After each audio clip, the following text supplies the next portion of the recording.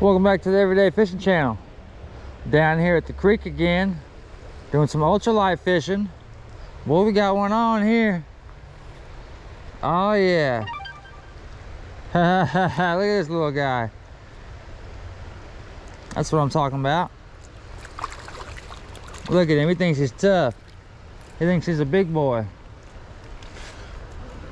He thinks he's a big boy, one of them big old bass. Nah, he's just a little green sunfish, little guy. We got him though. That's what I'm talking about. Yeah. Nice. All right, let's watch him go back. Get on back in there, buddy boy. Yeah, that's what I'm talking about. Whoa. What we're using today is a Pflueger Monarch Ultralight. Uh, two to eight pound line. I've got four pound test Mr. Crappie Mono on here.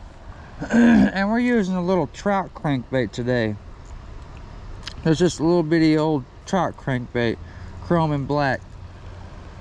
And uh, out here at Indian Creek, man, doing doing the dang thing. Let me tell you, that's the second one I've caught of pretty good size for this creek.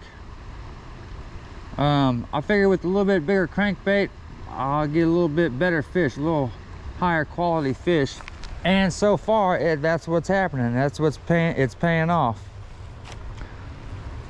Gotta love it. Got to love creek fishing especially with these little micro crankbaits. It's a blast. Ultralight rods, come on, man.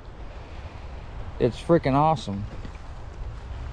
Fishing today with my buddy Mike. We're both out here with ultra ultralight rods. Hey, uh, if you guys like this video, give it a thumbs up. Hit that little subscription bell or subscription button and maybe a notification bell. I upload every day or every other day. There's something I upload every day, whether it's a short or a full length video like this i say full length because i don't have a computer to edit things. Um, anyways i appreciate everybody's support. I appreciate you watching. Tell your mama tell your daddy tell your granny tell your neighbor go fishing every day